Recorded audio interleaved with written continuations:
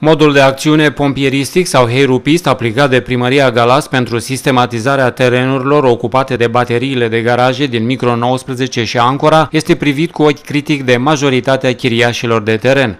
Aceștia îi cer primarului Mario Stan să respecte promisiunile electorale și să promoveze doar proiecte viabile și bine fundamentate.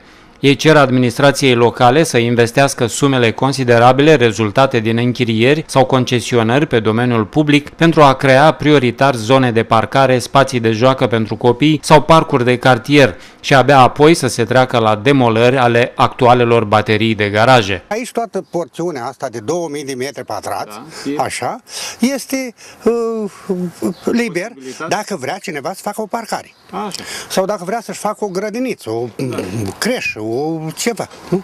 Atât. Dacă vrea să dărâme garajele, să dărâme, dar o să rămână, știți cum, uh, vraiște așa, o să fie niște, uh, uh, cum pe 19, nu știu, pe acolo am auzit pe în 21, pe da, la vis-a-vis, așa, sau o mazepă. Niște dărmături o să fie, o să arate foarte urât după aia.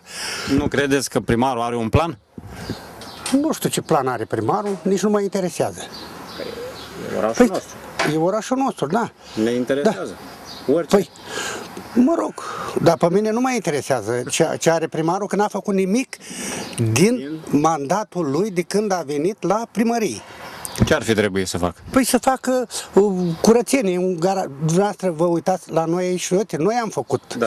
aici uh, lucrarea asta la gunoiere. Dar vă uitați pe alte gunoiere că îți intră în, în piept toate, toată mizeria și toate astea. Da. De ce n-a făcut curat? Să facă întâi curat orașul și, pe urmă, dacă vrea, să dărâme și dacă vrea, mă rog, asta e da. problema lui. Să luăm așa pe toate garajele astea aici, dacă sunt ocupate, să zic, 20%. În rest, mașini. cu mașini. Da. În rest, uh, ce sunt? Magazii uh, și alte ateliere, loc de furăciune, mai bine zis. Asta e. Da. Sigur că da. Și ar trebui ceva, făcut ceva organizat. Mm. Eu, de exemplu, o am parcată pe bordură, acolo.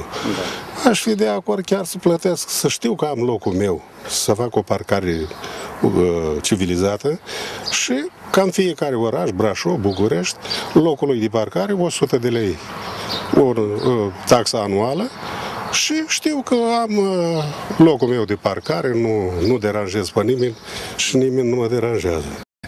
Nou primar, ce credeți? Are o strategie privind uh, sistematizarea orașului? Cred că e confuză. E confuză. N-are, e confuză. Mm. E confuz. Pentru că el zice acum că de la anul, da. Uh, de la toamnă vom pe prelungi contractele. Dar, dar contractele nu sunt cu prelungire, pentru că sunt nelimitate, n-au termen. N-au termen. Era cu vreo 4, 3 ani, dacă nu mă înșel, uh, se făceau... Pe termen limitat.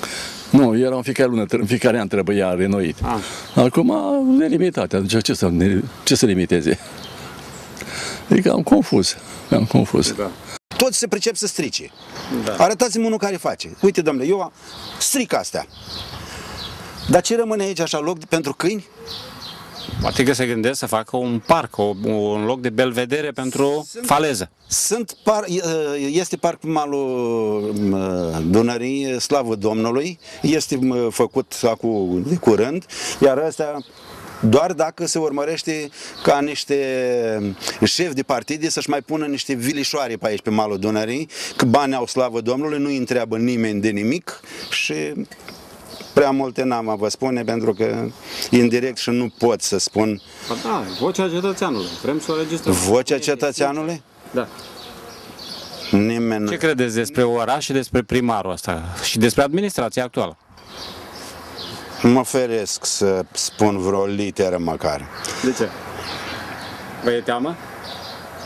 Da. Bună ziua! Sistematizarea marelor baterii de garaje a început în urmă cu două luni și a fost un eșec major al administrației. În niciuna dintre zonele demolate nu s-a amenajat nimic, iar în zona Ancora proiectul de sistematizare este complet compromis și blocat de o serie de procese cu proprietarii de garaje tip construite odată cu blocurile. Alte blocaje au apărut din cauza incapacității unor funcționari de la serviciu tehnic de a stabili utilitatea publică a demolărilor. Din această cauză s-a modificat proiectul inițial și se caută pretexte pentru a se construi o stradă chiar pe lângă gardul școlii Mihai Eminescu.